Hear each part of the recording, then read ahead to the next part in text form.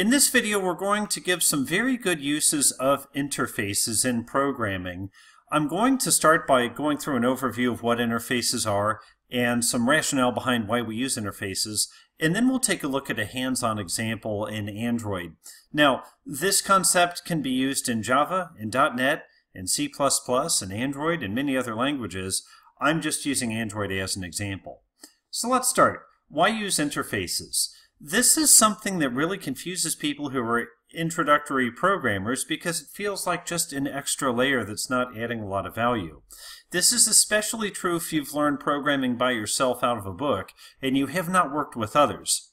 Indeed, interfaces are some of the most valuable things we can use in object-oriented programming. Back in 2000, I took a training class from somebody who was considered just a real genius in object-oriented programming, and he told me two things that really blew me away. Number one, he said you can judge the quality of an object-oriented program by counting the if tests. The fewer if tests, the better. Number two, if you are not using interfaces, you are only using half of Java's potential. When he said that to me, I realized I use if tests all the time, and I never use interfaces, so I must be doing something wrong. And I committed myself to figure out what I was doing wrong on my own, and about nine months later, it all occurred to me. So some of those learnings is what I'm going to go through in this presentation. So first of all, when we say interface, we're not saying a user interface or user experience. We're talking specifically about the programming structure called an interface similar to its siblings, class and enum, and interface is a programming concept. So if you're here for user interface, this is not the video for you. So what is an interface in programming terms? Well, it's really just a list of method signatures. That's it. It's a contract. It says, if I implement this interface, I agree to implement these method signatures. For example, if I have an interface IPET, and IPET has something like eat, a method a method called eat. So we'll say public void eat. Uh, we'll terminate that with a semicolon. Then the class dog, which implements pet, has to have a method eat with an open and closed curly and some kind of behavior. So does the class cat. The, the, the class cat, it also needs an eat method. And the class fish needs an eat method because you see they all three implement this interface IPET. So in a way, an interface is like a contract because any class that implements it has to provide some behavior for these methods. One other nice thing about interfaces is that a class can implement multiple interfaces because all it's saying is, I agree to provide behavior for any methods that are defined on the interface. If more than one interface defines the same method, no problem, the class only has to implement it one time. Now, because classes will implement an interface, many times we will put JavaDoc, or in other words, some comments, on the interface and the methods of the interface itself. When we do that, we can simply reference that, that JavaDoc from the implementing classes.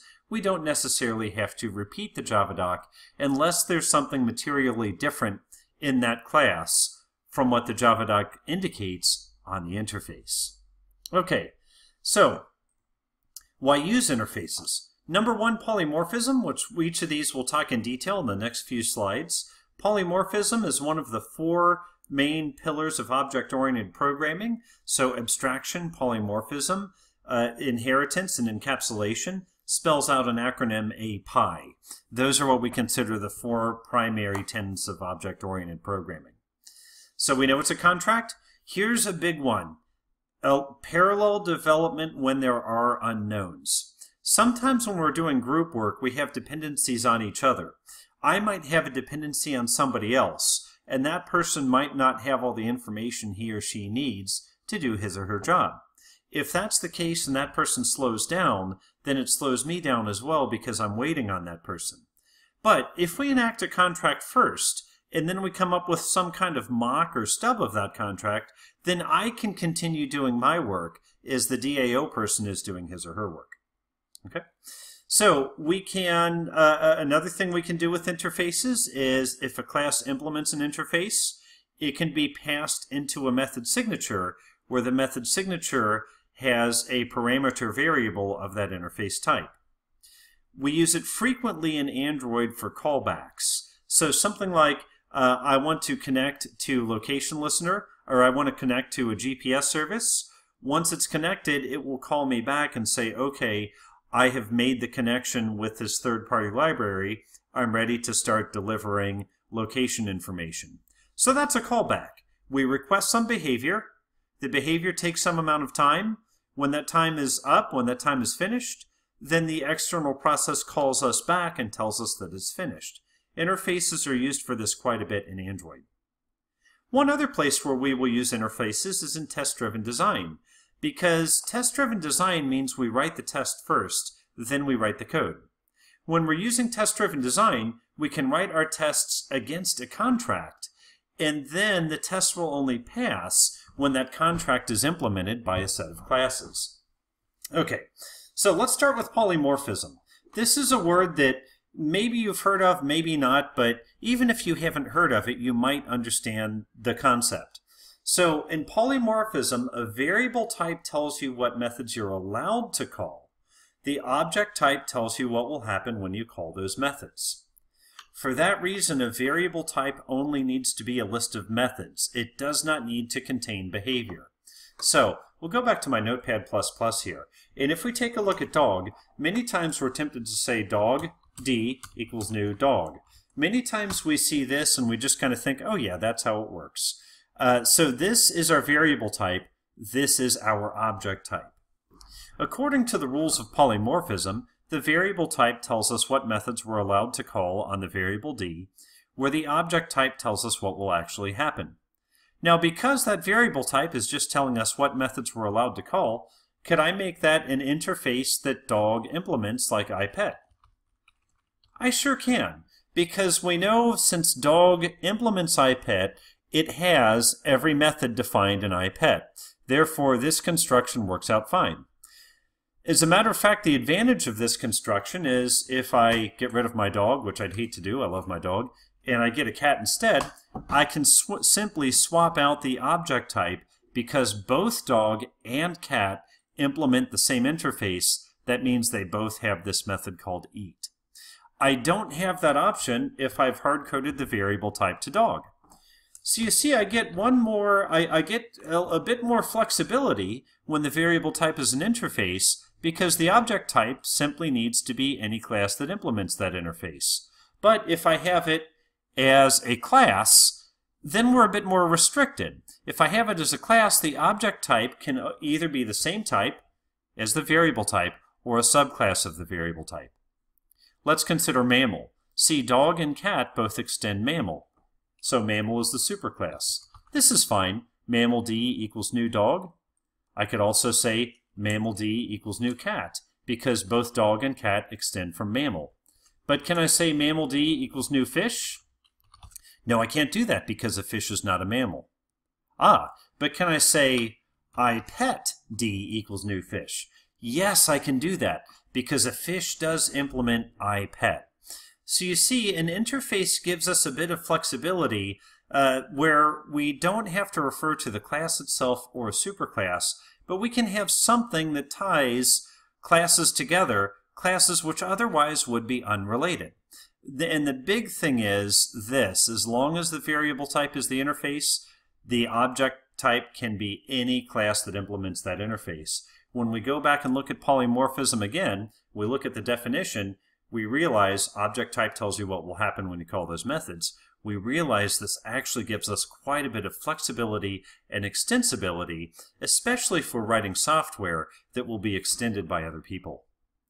Okay, a contract. So when complete, my object implements this interface, my object that implements this interface will provide a definition for these methods.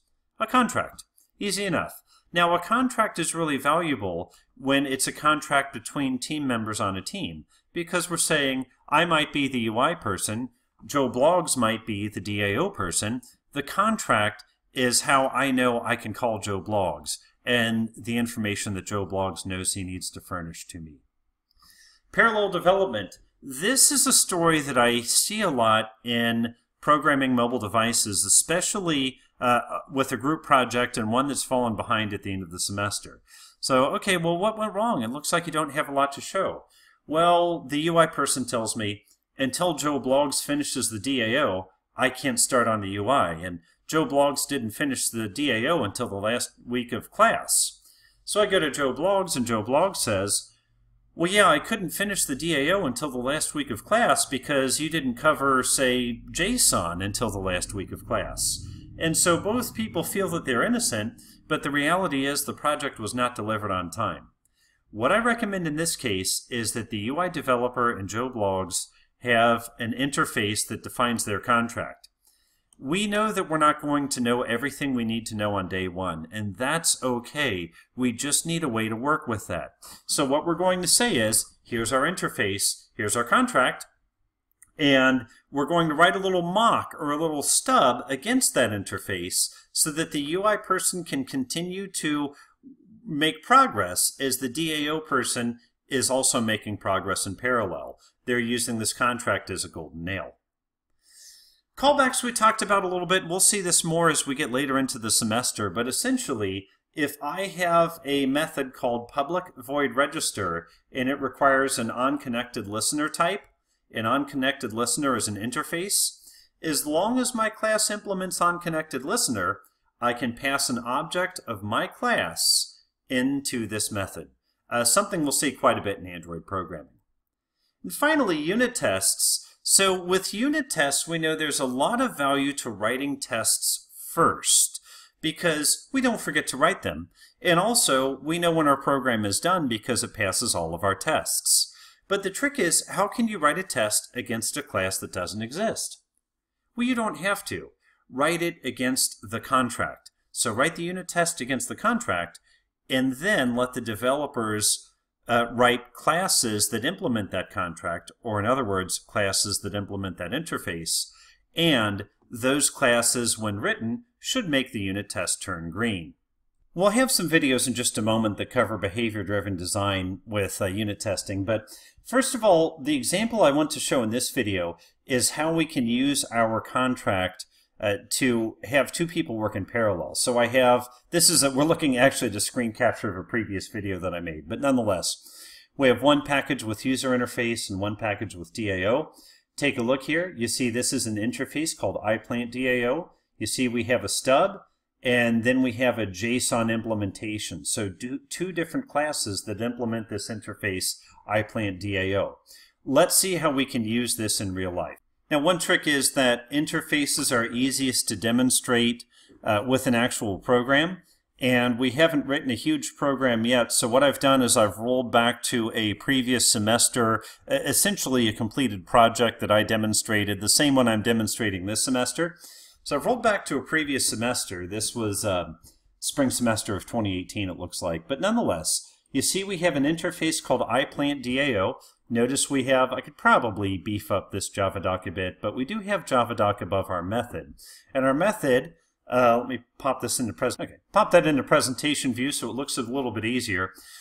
The method simply returns a collection of plant objects and it accepts a search term and it throws a couple of exceptions. A very straightforward method. Take some string search, return a collection of populated plant objects. Okay? So I'm going to go to the screen that uses this, which is GPS a plant. Now, uh, let's take a look at GPS a plant, and we're going to roll down to the method that uses this. And again, this is a completed example from, from a previous semester, but nonetheless, we only need to look at a very simple line here. Uh, take a look at this line number 374. Look very closely because you see the interface is the variable type, and the stub is the class type. Let's take a look at the interface. That looks familiar, doesn't it? Now we go back to GPS of plant. Let's take a look at this, this class, plant DAO stub. I click there, and you see it's called a stub. We could also call it a mock if we wanted to. If we scroll down, notice that it is creating two different plant objects. One is an eastern redbud, the other is a common pawpaw, and then it's returning those plant objects. Now, theoretically, we would think fetch would go against some data storage mechanism, maybe a database, maybe a JSON stream, but at this point we don't know how to do that yet. If we take a look at this method between line 20 and line 38, there's really nothing Android specific about this. This is a method that's just plain old Java.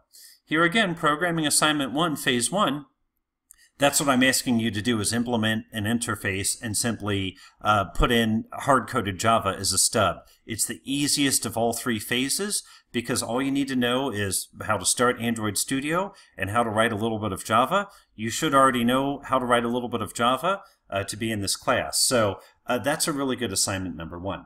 Nonetheless, uh, let's go back and take a look now. This is going to fill in the autocomplete here on this Plant Places application. So I'm going to click in plant name and I'm going to start typing Cercis and take a look, Cercis canadensis eastern redbud. Now if I start typing eastern, note that I get the same result. I don't get eastern white pine though, okay? Because eastern white pine is not one of the classes I've hard-coded in to this, uh, to this stub. When we go against an actual data feed, we should get eastern white pine and a bunch of other eastern uh, named plants. Now, if I say pawpaw, I start typing paw, and you see that comes up. If I type, uh, let's say, oak, nothing comes up. That's because we're going against our hard-coded, limited data set. This is something maybe we did in phase one. We said, here's our contract, here's our implementing class. Okay, so sprint one's over. Sprint two, Sprint 2, the developer and the DAO layer says, okay, I'm starting to get a hang on this. I, I think I got it going. I, my unit tests are passing. I'm looking pretty good.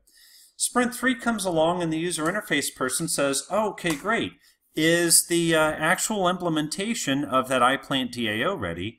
And the DAO person says, well, gosh, yes, it is. It's called Plant JSON DAO. So take a look at this. Notice that I am the user interface person. And notice that I'm simply changing the object type on this line 374. I'm not changing anything else about the program.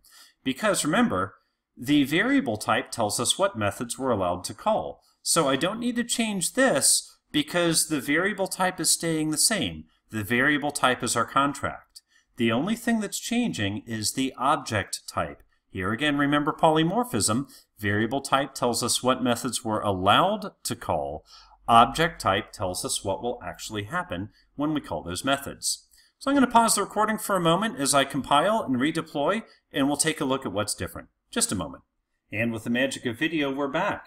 Uh, take a look now. I've simply changed line 374. I've simply changed uh, the object type. Nothing else has changed. And by the way, if you use something like a Dagger uh, for Android or Spring for a traditional Java, this construction of an object doesn't even happen in code. It typically either happens by annotation or in a configuration file.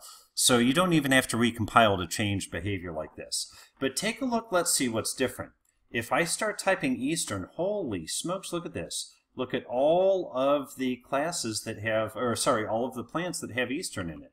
If I type Redbud, take a look. I get about 13 different Redbud plants. If I type Pawpaw, I get a couple different pawpaws. So you see that we're going against live data right now, and I think the other one I had was oak, wasn't it? You see that we're, we're actually going against live data, and all we have done is switch that object type. If we dig down into this plant JSON DAO, we see it's going to hit some kind of JSON stream here, and then it's going to go through and it's going to do some parsing. So this is the knowledge that the DAO programmer picked up over the course of the semester. And in the sprint three said, okay, my actual implementation class is ready. Mr. or Mrs. UI, can you please take out the stub and put in this implementation? So that's the value of interfaces. Um, one other thing I will say about interfaces, that is a lot of people say, well, I don't use interfaces because it takes too much work to write them. Really doesn't take much work at all. If you prefer starting with a concrete class like this network DAO, have at it. You can extract the interface later. Simply right-click, choose Refactor, Extract, an interface, choose the methods you want to put in an interface, uh, choose the interface name, I might call it iNetworkDAO, and choose Refactor, and voila, there you go. You see it automatically adds the implementation line, it automatically, um, let's see, we'll go ahead and choose yes there. It automatically creates the new interface, I Network DAO does all the work for you. So if you do prefer writing the class first, that's fine, you can still do it. So this gives a few good reasons why we want to use interfaces. I'm curious what you think. If you have any uh, agreements or disagreements, put it in the comments. I'd love to hear what you say. Thank you.